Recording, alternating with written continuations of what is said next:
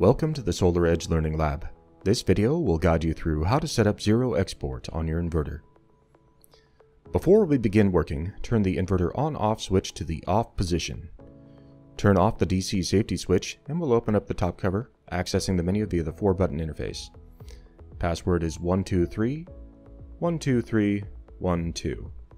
Use the down arrow to select Power Control. Next we'll select Energy Manager, Limit Control, Control Mode.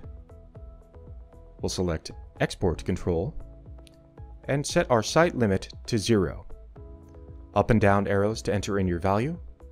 Long hold on Enter to apply.